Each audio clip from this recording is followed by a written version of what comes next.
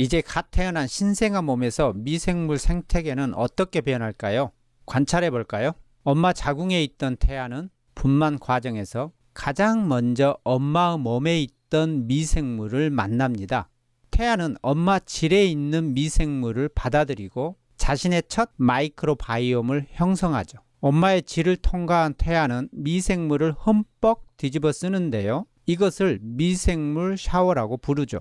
아이에게 처음 들어온 미생물들이 자리를 잡고 증식하기 시작한 뒤 점점 더 많은 미생물이 잇따라 번식합니다. 처음 아이에게 생기는 미생물은 앞으로 장내 미생물 생태계가 발전할 수 있는 기반을 마련하죠. 그러나 자연분만이 아닌 제왕절개로 태어난 아이의 경우 엄마의 피부와 병원 환경에서 서식하는 미생물로 자신의 첫 마이크로바이옴을 형성합니다. 우리 몸이 기대했던 미생물과의 첫 만남이 아니죠. 제왕절개로 태어난 아이는 자연분만으로 태어난 아이가 갖고 있는 주요 미생물을 갖지 못합니다. 그 차이는 시간이 지나면서 다양한 질병 발생률에 영향을 미치는데요. 병에 걸릴 확률이 더 높아진다는 것이죠. 자연분만과 제왕절개 두 그룹의 아이들을 40년 동안 추적 조사한 결과입니다.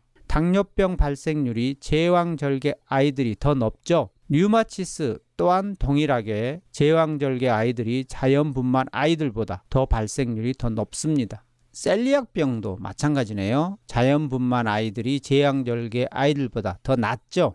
분만 때 미생물을 채취했던 이 아이의 미생물을 2주 후에 다시 채취했습니다. 이 아이는 처음에 10가지 종류의 미생물 종류가 2주 사이에 2배 이상 늘었습니다. 유익한 미생물이 다양하게 증식하고 있다는 의미죠.